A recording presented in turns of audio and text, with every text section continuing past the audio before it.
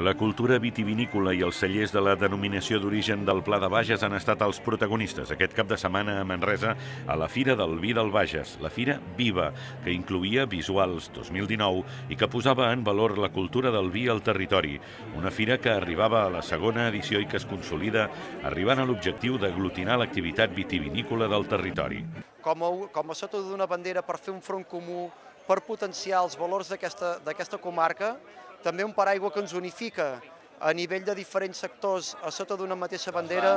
per, per perseguir uns mateixos interessos. Eh, per tant, ja l'origen de, de la Fira Viva ja és complexa,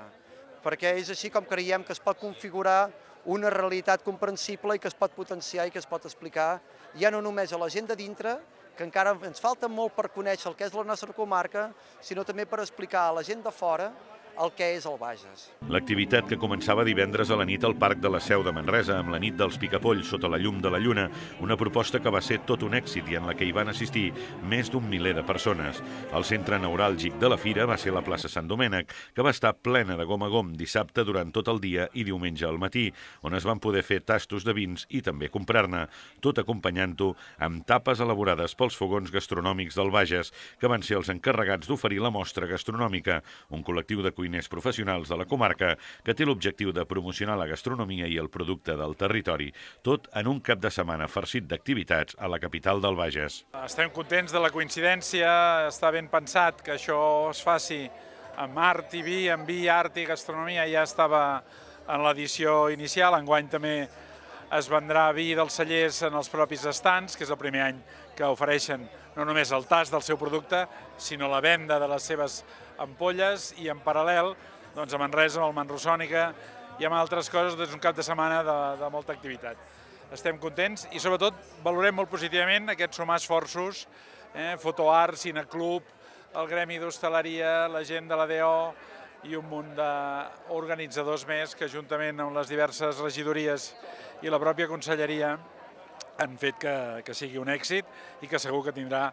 molts i molts visitants. La inauguració de la Fira Viva i del Visuals 2019 va comptar dissabte al matí amb la consellera de Cultura de la Generalitat de Catalunya, Maria Àngela Vilallonga, que va destacar el potencial d'ambdós esdeveniments en un acte que també va intervenir-hi l'alcalde en funcions de Manresa, Valentí Junyent, la regidora en funcions de Cultura, Anna Crespo, la presidenta d'Arts Visual de la Catalunya Central, Roser Udové, el president de Bages Impuls, Ignasi Sala, i el director general de l'Intercanvi, Salvador Puig. Una inauguració que va tenir lloc després de l'acte de reconeixement de la pedra seca com a patrimoni cultural immaterial de la humanitat per la UNESCO. Un maridatge perfecte. Com he dit amb les meves paraules de cluenda d'aquesta inauguració,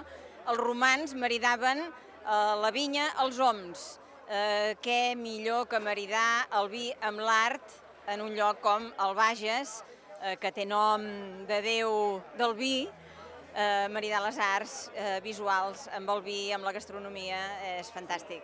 Un cop finalitzada la inauguració, el Mercat de Puigmercadal va acollir una acció artística dins la programació de Visuals 2019. A la plaça Sant Domènec, l'activitat continuava amb els 15 cellers del Pla de Bages i els seus productes. En total, més de 50 referències de vins vegencs, tres tastos específics conduïts per experts enòlegs, actuacions musicals i jocs per als més menuts. La Fira Viva és una iniciativa de Bages Impuls i el Consell Regulador de la denominació d'origen dels vins del Pla de Bages, amb el suport de l'Ajuntament de Manresa.